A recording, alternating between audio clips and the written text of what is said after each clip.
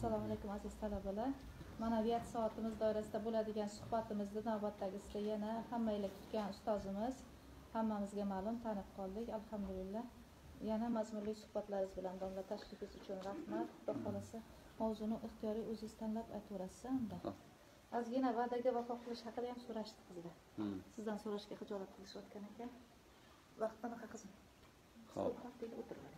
Bismillahi rohmanir rohim alhamdulillah vassalotu ala rasulillah. Ammo ba'd. Ho'p o'zi e, mavzu o'laroq tarjima mavzusiga e, to'xtalamiz deb yozishgan edi. Yozgan qizlarimiz shu yerdami o'sha e, tarix mavzusiga qo'l urgan edik. Birinchi maqolamiz e'lon qilindi saytda. Ya'ni format yaxshi ya'ni nima demoqchiman? Bugungi kunda hamma sohani wikipediyasi bor. Wikipediyani bilamiz a o'sha menimcha foydalangan qizlarimizdan shundan foydalangan bo'lsa kerak. O'sha janr o'sha ko'rinish yaxshi. Ya'ni wikipediyadan juda ko'p odam foydalanadi.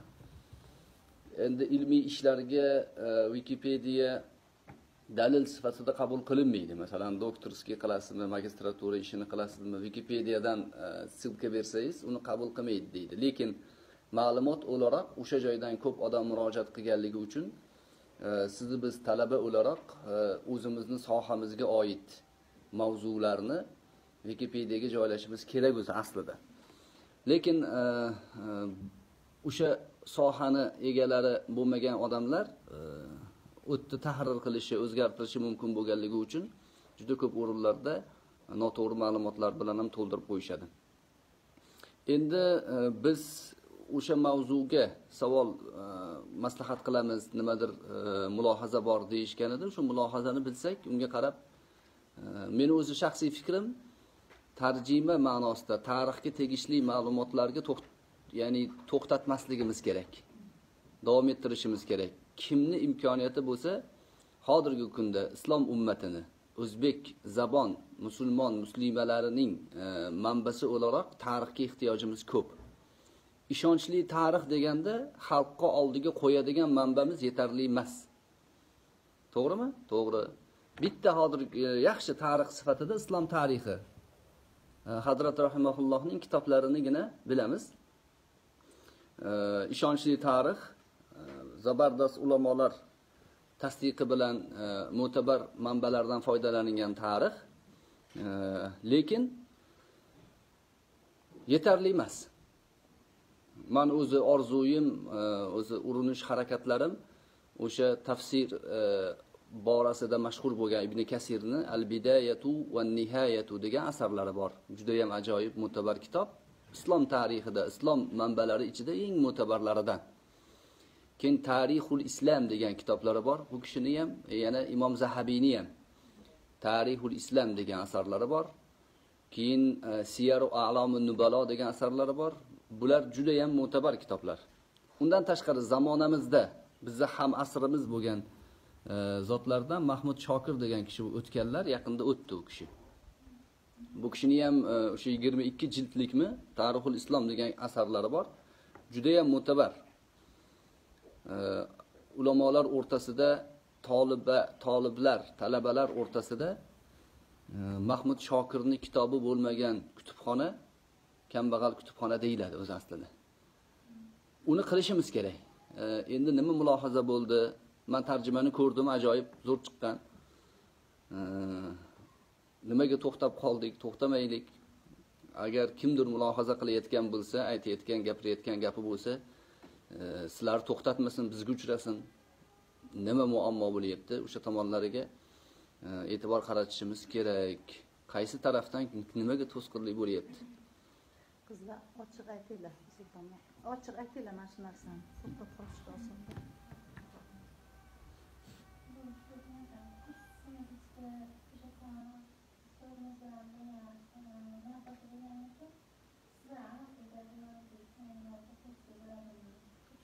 mayli. Xo'p. Bo'ladi, yaxshi. Xo'p, savollarimiz bormi?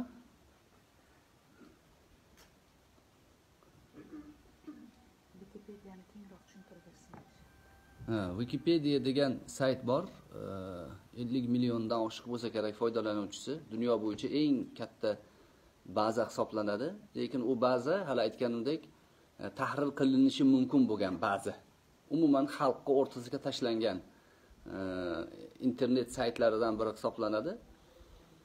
E, unga o'sha man islom to'g'risida shariat ma'lumotlari to'g'risida asosiy ma'lumotlarni dahriy administratorlar qo'yayotganidan xabarim bor edi. Bundan taxminan to'rt yil besh yil oldin.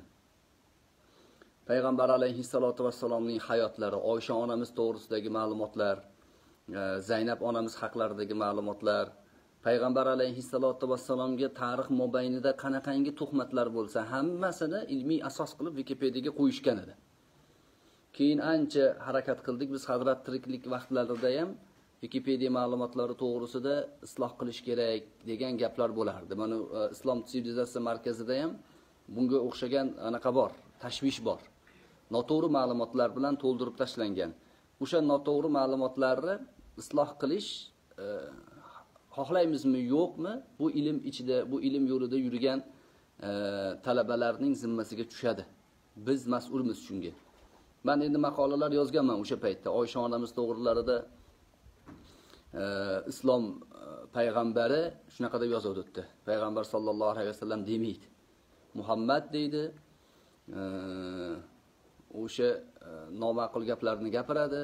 Olti yoshda olib olgan ekan to'qqiz yoshda e, bular nikohi bo'lgan ekan degan gaplarni e, noto'g'ri haligi buni nima deydi? Falsifikatsiya deydida odamlarni fikrlarini ataylabdan yomon tomonga burish soxtalashtirish ma'lumotlarni dezinformatsiya qilish uchun bergan. U yerda keyin ilmiy asosda ba'zi maqolalarni qilganmiz. Menimcha o'zgardi.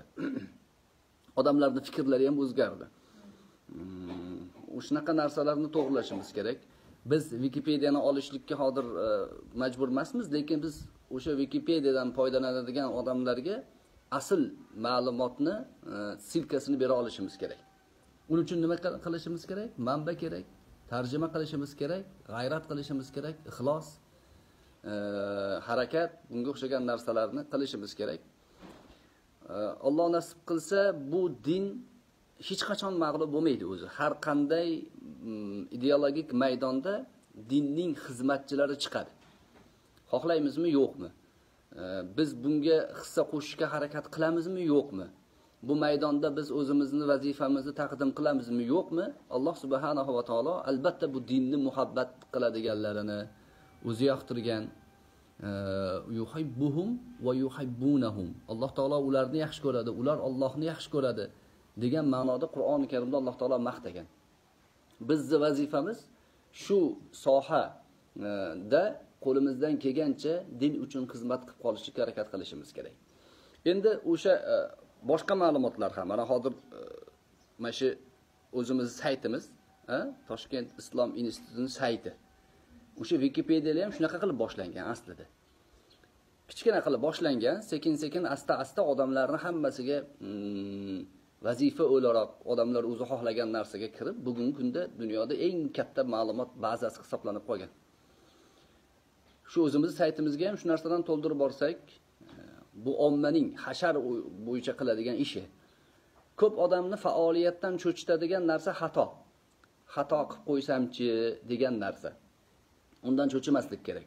Chunki eng tajribali odamlarni o'sha eng mutaxassis darajaga yetkazgan narsa xato aslida.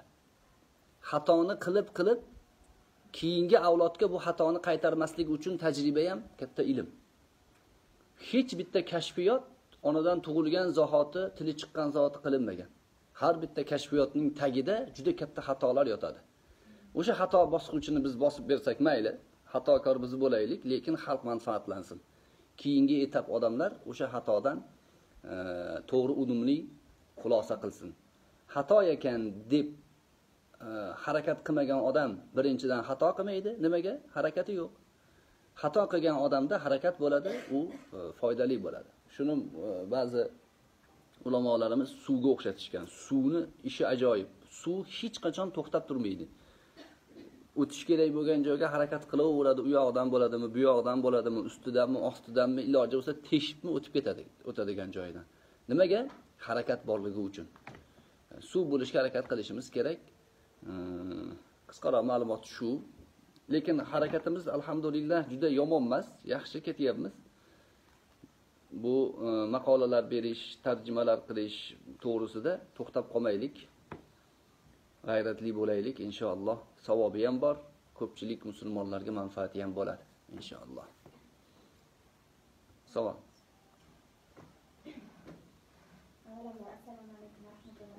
Va alaykum assalom Hurmatli vaqtingizni ajratib qilgan ma'ruzalaringiz uchun minnatdorchilik bildiramiz. Savolim shundan iborat ediki, hozirda ma'lumki, texnika taraqqiylashib, ko'plab narsalar, masalan, internet olamida o'zini aks ettira boshladi.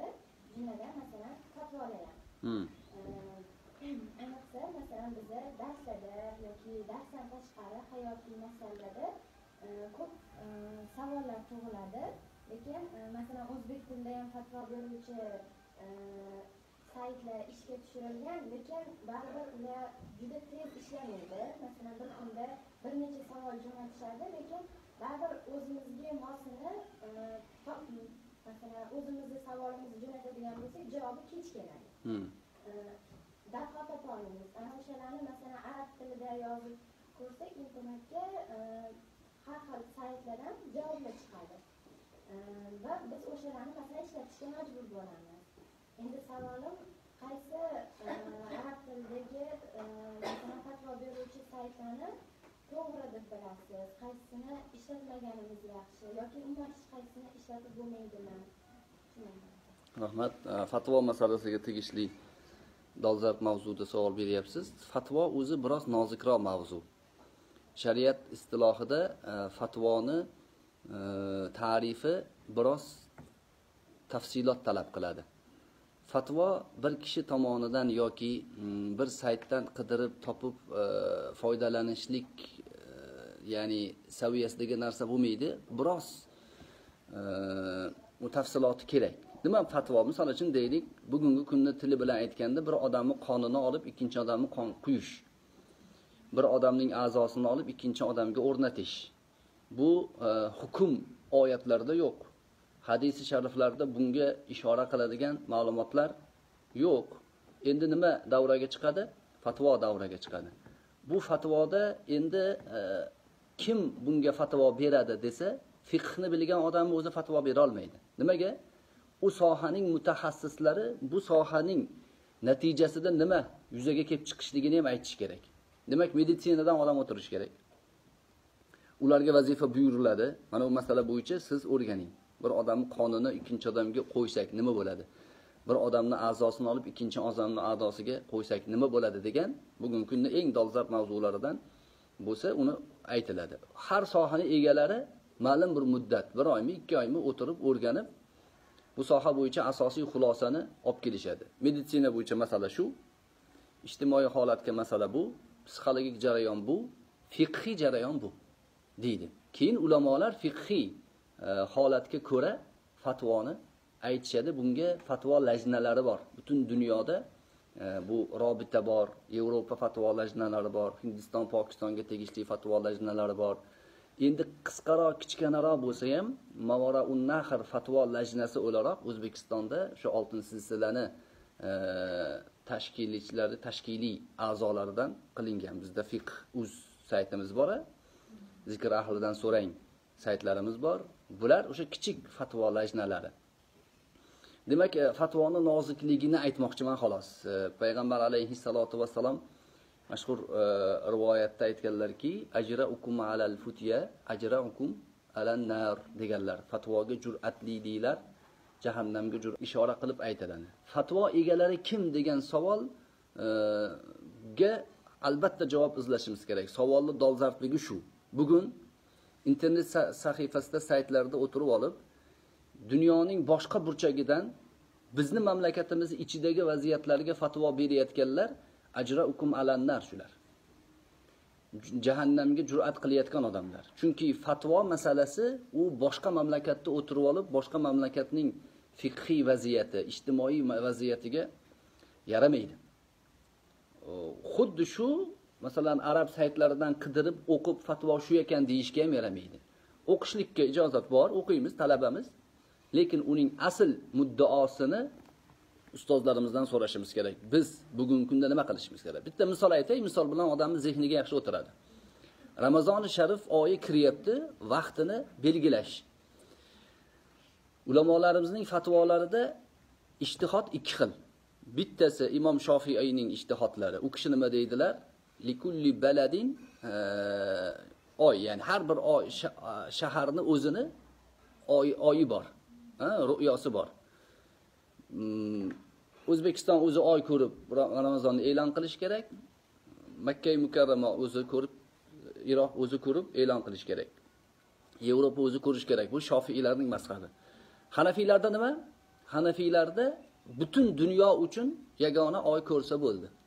Makka mukarramada ko'rdim desa e, adolat sobit bo'lsa hammaga vojib bo'laveradi deydi. Endi mavzu shaxsiy mavzu emasligi uchun ijtimoiy mavzu bo'lganligi uchun hammamiz ro'za tutamiz.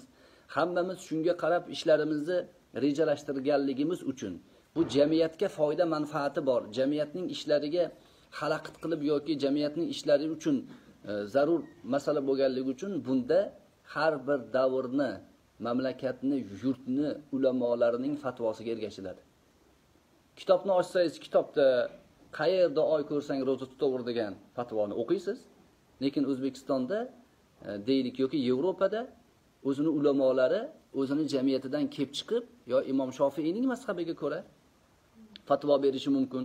Bunaqa masalalarda ijtimoiy masalalarda boshqa mazhabning fatvosini olishlikka diniy mas'ullar muftiylar qozilar diniy idoralar haqli bo'ladi. Shaxslarni ishi emas.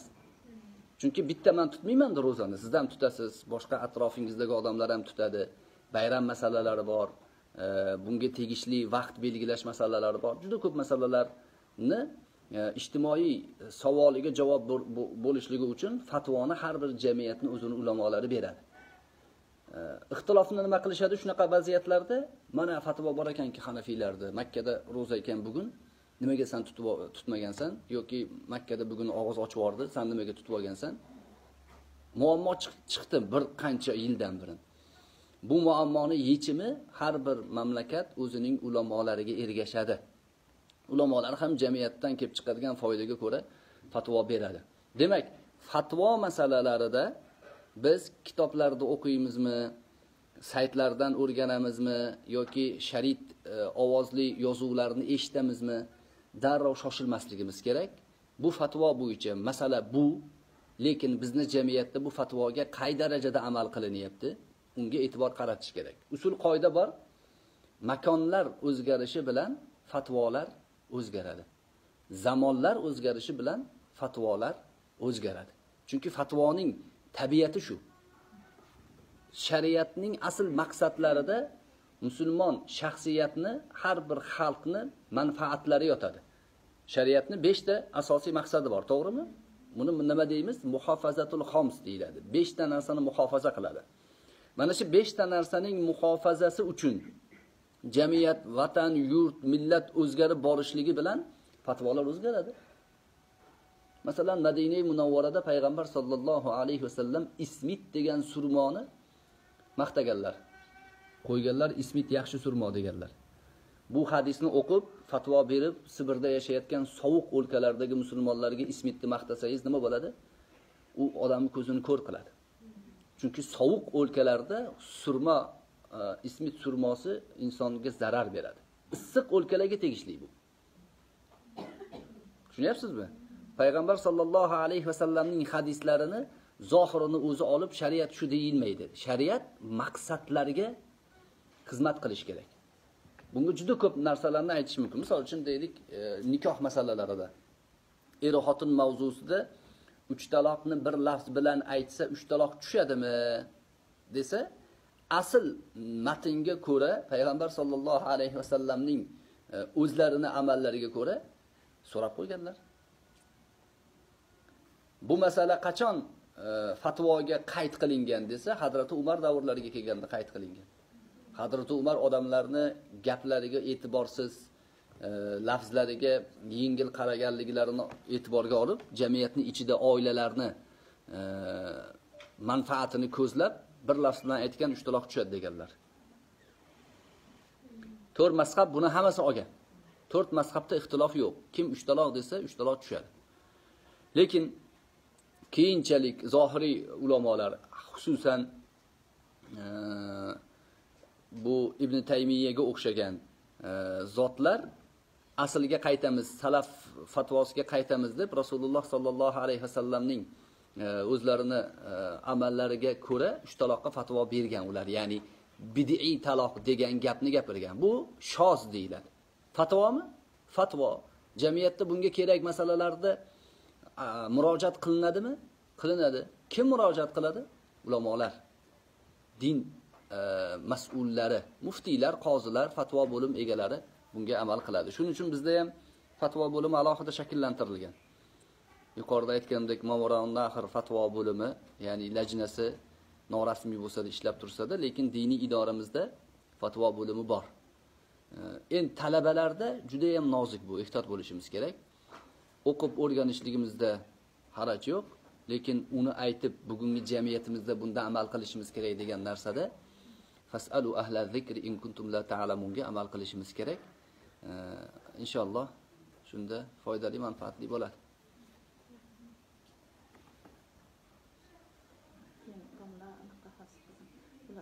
Qilishda to'xtab qolmasin deyapsizku Hmm. shuning uchun kichkina bularni tabiatiga anaqa salohiyatiga yarasha kitoblarni bo'lib bo'lib bersangiz man o'zim ham nazoratda ushlab anaqa qilib turaman. Sizga hijolat bo'lishi mumkin aytishga. Xo'p. tavsiya qiling siz biz bo'lib bo'lib beramiz inshaalloh. Yaxshi bir yaxshi bir kitob olamizda. Ayollarga xosroq bo'lsin ko'proq. Inshaalloh yaxshi. Boshqa guruhlar ham faqat o'sha emas inshaalloh. Ana qizim. Ijtimoiy savol bermoqchi edik. Ko'p ijtimoiy tarmoqlarda ro'mol masalasi haqida qaysi biriga bu safar ijobiysa xudo xohlasa?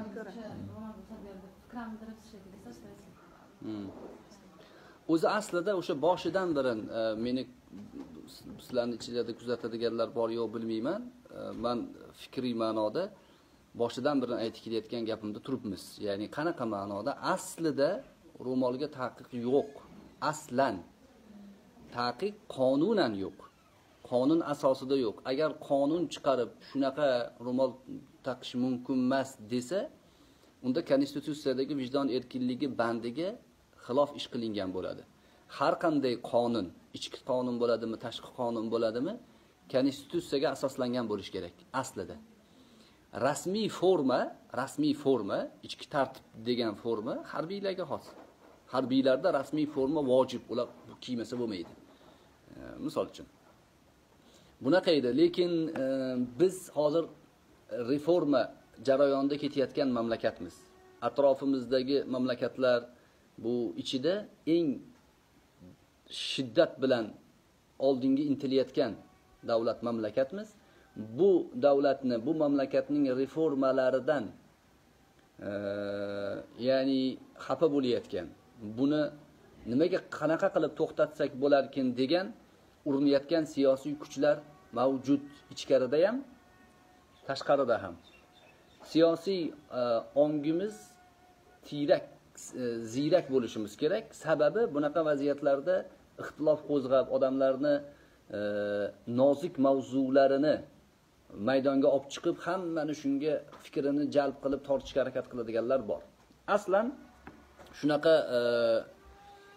mavzularga iloji boricha sovuqqonlik bilan qonuniy yo'l bilan o'shanaqangi isyon targ'ibotlariga uchmasdan munosabat bildirish kerakligini aytib kelganmiz bu kunga qadar. Alhamdulillahi robbil alamin shuni natijalari shekilli yaxshi bo'lyapti. Ba'zi e, shu ishlar bo'yicha sabotaj urinishlarini qilgan e, odamlarga choralar ko'rilyapti bizni bilishimiz bo'yicha.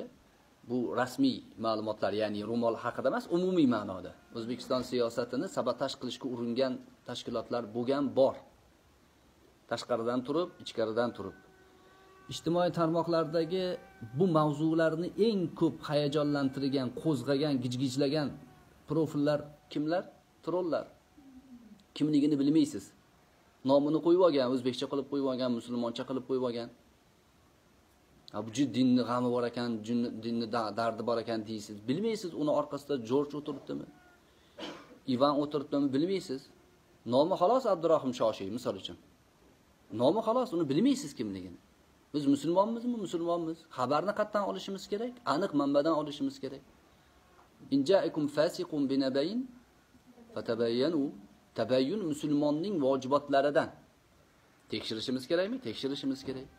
Tekshirishlikda ilk obyekt kim? San'at. As-sanadu minad din. Rivoyat qilayotgan mavzuni gapirayotgan odam san'at bu. San'at deganda suyanib gapirish kerak to'g'rimi? Meni gapim hamma ergashsin demayman hech qachon. Bu din menga e, katta xolamdan qolgan manba emas bu. O'sha troll kompaniyalariga ishonayotganlarga bu gap. Lekin ijtimoiy tarmoqlarda shtat bilan pul to'lab alohida har bir siyosiy tashkilot troll kompaniyalarini ishlatyapti dunyo bo'yicha. Buni o'zlari tan olyapti. Rossiya saylovlarida amerika saylovlarida bo'lgan xiyonat jinoyatlarni o'zlari tan oldi. Sukerberg chiqib uzr so'radi. Kechirasizlar dedi. Man noto'g'ri qildim dedi. Shu bizni o'zimizni mana shu o'zbekcha saytlarimizda mana shu e, facebookdagi gruppalardan xalq ovozimi degan gruppada bir kunda 50 mingta odam yo'qolib qoldi. 50 mingta profil yo'q. Nimaga? Fosh qilindi ya'ni troll profillar odamlarni ijtimoiy fikrini bir tomonga burish. Ro'mol hamma sudga borsin hamma ko'tarilsin oyoq ko'tarsin deganlarni 99 foizi profil troll profillar. Maqsad nima? Mavzuni nozik joydan ushlab xalqlarni parokanda qilish. Xuddi shu o'yin atrofimizda bo'lgan. Bo'lgan atrofimizda bo'lgan. Ha deb gapiraverasan deydi. Gapiramiz bo'lgan axir. Shu shunaqa qilishgan xuddi shu ishni qilishgan. Shu abdurohim shoshiy degan profildagi trollar qilgan. U yerda boshqacharoq bo'lgan nomi abu hamza bo'lgan misol uchun. Katta katta ulamolarimiz o'xshatish qilganlar man bir qo'yuvdim buni. Oysha siddiqiya deb profil ochib olib oysha siddiqiya deb. Ijtimoiy tarmoqqa kirib ali xilofatga haqlimidi usmon xilofatga haqlimidi degan savolni beradi. Boshlanadi janjal. Misrdan bittasi kirib e, usmon haqli edi deydi. Iroqdan bittasi kirib ali haqli edi deydi. Unisi san kofirsan deydi bunisi san murtaddan deydi. Bir birini haqorat qiladi. U Oshay osha siddiqa profilni orqasida kim o'tiribdi? Jorj o'tiribdi. Mustashriq. Musulmon emas u. biz nima ahmoq emasmizki biz biz sodda mayli soddamiz soddalikka. Lekin hazrati umar aytganlarini singari aldanadigan ahmoq bo'lmasligimiz kerak. Shu profillar asli shaxsiyati yo'q profillar dindan gapirayotgan bo'lsa ehtiyot bo'lishimiz kerak. San'at dindan. Bularni bunaqangi e, fitna narsalariga e, aldanmasligimiz kerak. Ozonni eshitib olaylik bismillah.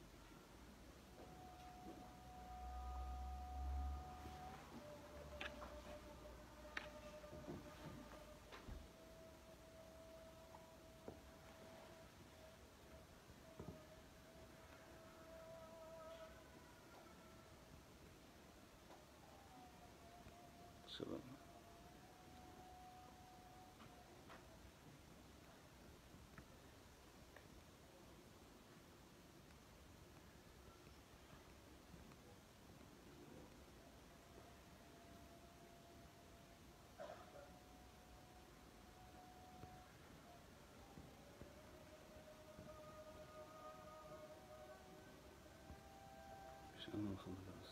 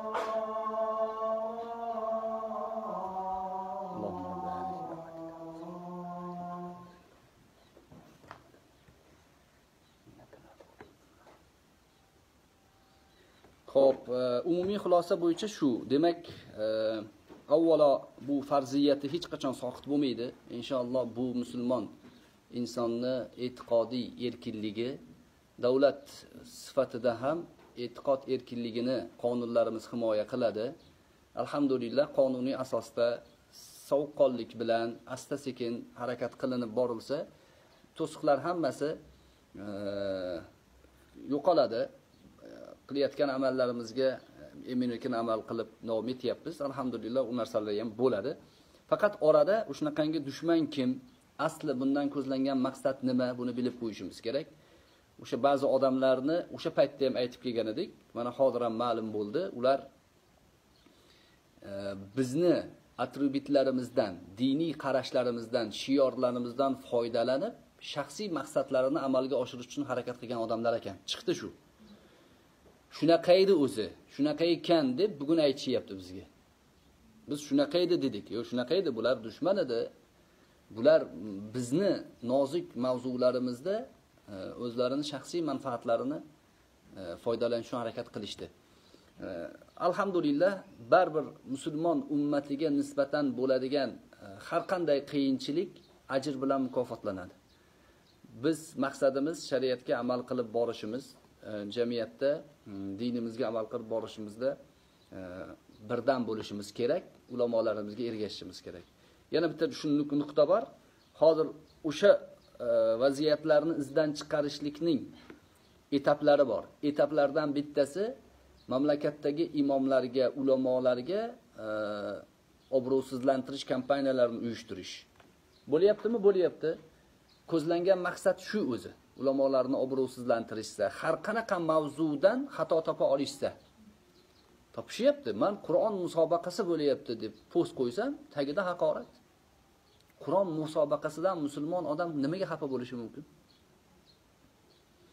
Surdo tarjimasi bilan diniy idora, qo'mita, e, jamiyatimizdagi aktiv odamlar rolik qilishibdi. Surdo tarjimasi. Ya'ni nogiron, gapira olmaydigan jamiyatimizning a'zolarini sizlar biz bilan teng a'zosizlar, sizlarni yaxshi ko'ramiz degan mavzu. Bundan nima salbiy mavzu topish mumkin? Topishyapti lekin qoyilmisizlar? Shunaqa qoyil maqom odamlar ular, topadi. Qanaqasiga bir nogiron odamlarning ko'nglini ko'taramiz degan mavzuda salbiy narsa topishi mumkin. Topadi. Nimaga? Zakaznoy odamlar. Buyurtma bor ularga. Nima bo'lsa ham inkor qilishing kerak deydi. Nima bo'lgan taqdirda ham. Ikki xil toifa. Bittasi troll, zakazga ishlayotgan odamlar, ikkinchisi ichimizdagi soddalar. Sodda bechora aldanib, o'sha fosiq bilan birga kelib, do'ppi kiyib olgan, soqol qo'yib olgan, uzun to'n kiyib olgan, undan foydalanib yuribdi yonda yurgan fosiq. Mana men musulmonlar bilanman degan atchot topshiryapti chetga qaqqadir. Bu bechoralar bizga dinimizga xizmat qilyapti deb o'ylayapti. Voy, dinga xizmat bunaqa bo'lmaydi. Dinga xizmat qilayotganingizni siz da'vo qilishimiz o'zi g'alati. Uni sekin asta ixlos bilan qilinadi.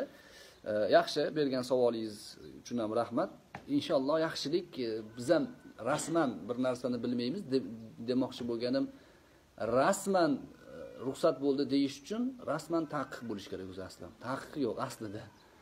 U ba'zi qarorlar inshaalloh u ham o'rniga kelar. Duo qilib turasizlar tahajjudlarda inshaalloh. Rahmat.